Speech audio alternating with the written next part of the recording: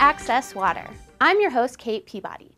Today we're heading to Tampa, Florida to speak with Wendy Nero, Senior Client Service Manager and Community Outreach Lead on the Tampa UCAP program. Thank you for joining us today, Wendy. What's been going on in Tampa?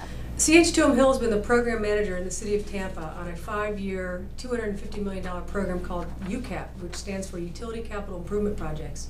And one of those projects was a large force main that we were installing in a, in a neighborhood in East Tampa, and it coincidentally went right near the engineering magnet school. And we had been in town disrupting neighborhoods and families for months and months and months, and so we started thinking, what can we do to better partner with the neighborhood and work with the school. And so from that, we created what's called LINES, which stands for Lasting Innovation Needs Engineering Students. There were several employees involved, um, varying from we had a college intern who was working with us at the time, several of our project managers from the UCAP team, a construction manager from the UCAP team, our chief estimator.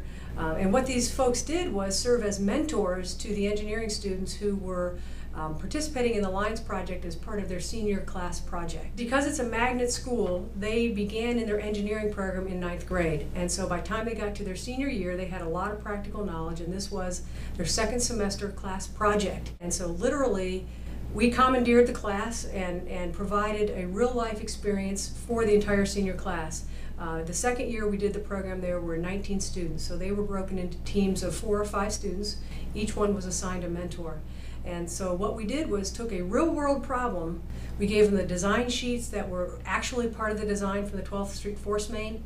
They had to do quantity takeoffs, they had to prepare an estimate of what it would cost to build this, they had to create a company that they had officers and roles and responsibilities, they made a project schedule, they had to contemplate uh, community needs. So they took it from concept to construction just like we would have to do in, in the real world as a consulting engineering firm.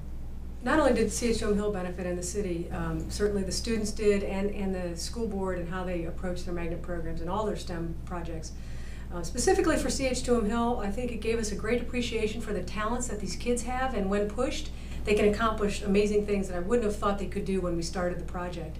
Uh, also, the, the school board nominated CH2M Hill as Business Partner of the Year.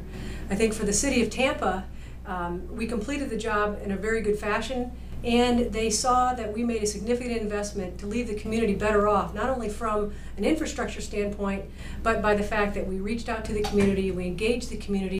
It sounds like it was a fantastic experience for all involved, Wendy.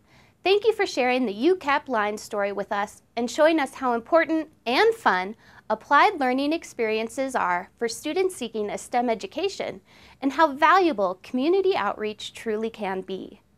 That's all for today. Until next time, this is Kate Peabody signing off asking, what's your story?